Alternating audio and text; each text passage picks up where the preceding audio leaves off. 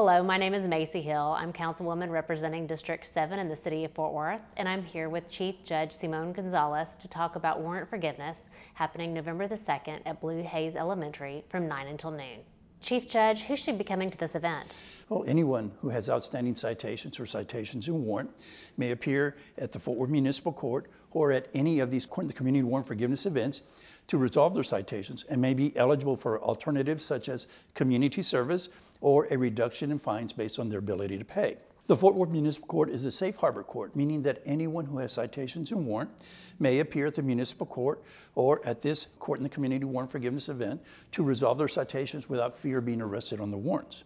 This event is mainly for Class C citations pending in the Fort Worth Municipal Court, such as traffic violations, code violations, or any penal code violation issued by means of a citation. Will there be any other agencies on site? Yes, Goodwill of North Central Texas and Legal Aid of Northwest Texas will be there as well. Chief Judge, how can the public get more information about this event?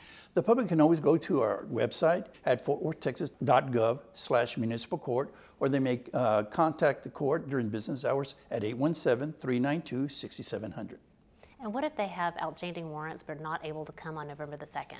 They can always go to the Fort Worth Municipal Court at 1000 Throckmorton, or they can go to our satellite office. We have a court at the Vivian J. Lincoln Library. This is a satellite office where we have a court in the library, and the location is 8829 McCart Avenue.